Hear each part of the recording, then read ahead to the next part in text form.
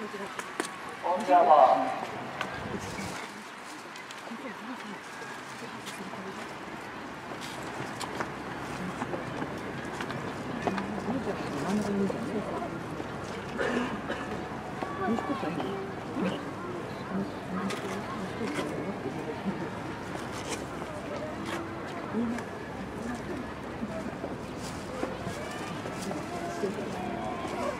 Yeah. さあ、綺麗にスタートが切られました。共通男子の 400m ハードル。さあ、ハードルの高さ、高さは9.14センチ。さあ、それが10台並んでいます。さあ、先ほどの解説通り、ちょうどハードルがクリアする瞬間を見れば誰が1位かよくわかります。さあ今、内側の選手、青のユニフォーム、そして、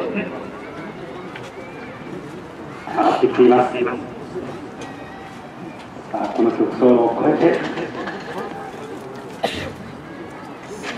さあ先頭は片谷君。103キシステさあそして植木君は相葉。さあ植木君が追っていたのは立野君さあ立野君と植木君の今さあ2人並んでのフィニッシュ。ッシュさあこの辺りがグランドタイマー3になります。グランドタイマーの横、5の番号が出るとフェイ君、6の番号が出ると片野君です。さあ、注目。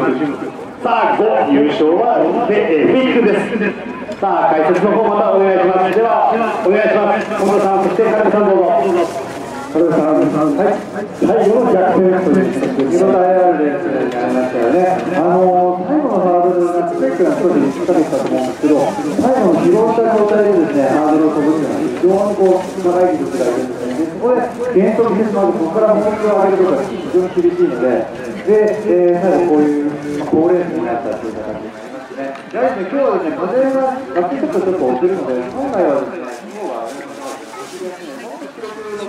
という感じがしたんですが、まあ、6秒3台でした？ら、